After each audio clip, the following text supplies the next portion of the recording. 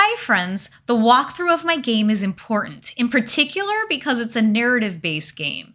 I've been making a lot of interactions like this one, and I've been mapping out the scenes, but it still felt like the story construction wasn't there. I had started a storyboard on Miro, and sometimes I even draw storyboards on note cards like this. This is for a different project, but also a good technique. Even with all of these techniques, I couldn't see the narrative flow with the mechanics, dialogue, all of the details. Then I started researching interactive fiction and found a variety of tools that people use to create those kinds of games. I started thinking about concept and style of interactive fiction and how I might apply it to VR. I've got some ideas. Through my research, I found a tool called Articy. It is used for interactive storytelling and game content management. Not sure how well it'd integrate to Unity for VR, but it helped get me to the point where all of the complexities of creating my narrative game were in order. Let's walk through it.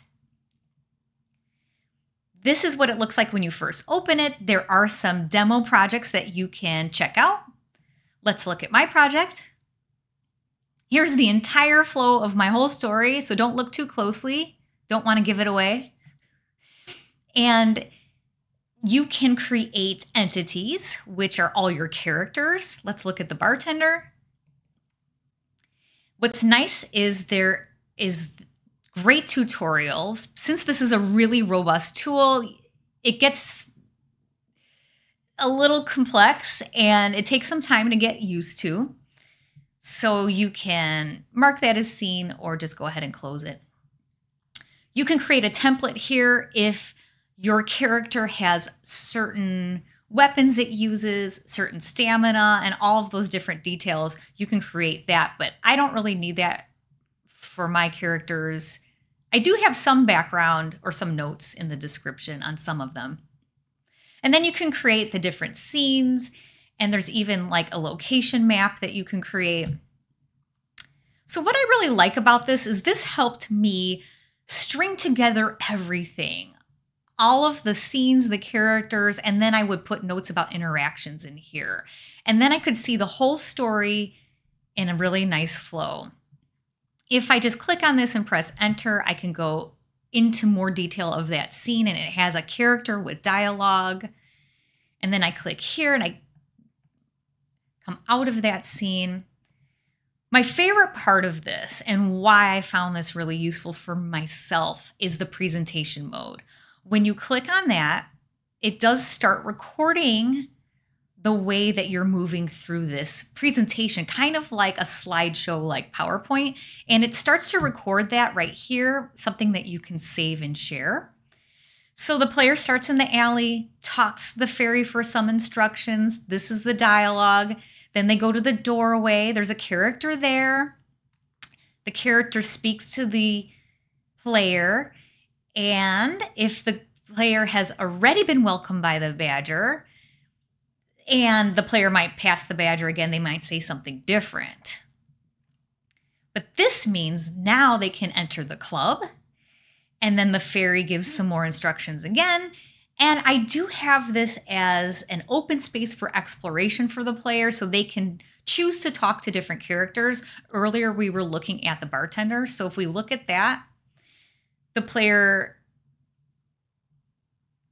can pick up the menu, or if the player doesn't pick up the menu, the skeleton will say something. So then maybe the player goes back, back to the character and picks up the menu. And then when they pick up the menu, the bartender says, What can I get for you? Now let's go back here. If you were actually going to use this for interactive fiction, I believe you can put code here and bring this file into Unity, and this would start working, which is really cool. I just put some commented out notes here instead, just so I can see what this condition was, and because I just wanted to get the flow down. So once you've got like your whole flow down, Let's just get out of here. Go back to the flow. you could actually export this to a Word document. So that's right here. I thought that was so cool. And so here's the Word document that it exported. So this is now another shareable file that I can give to somebody. And that is mostly what I'm using this for. I just wanted to share this tool with you because I thought that you might find this helpful as well if you're stuck like me and only want to work on the flow. This is another case where sometimes, you know, you have to take yourself outside of Unity and just work somewhere else to get that creativity coming back and all of that. So I hope you found this helpful. Thank you so much for watching and supporting my channel. I really appreciate all of my subscribers. And until next time, good luck working on your game. Thank you.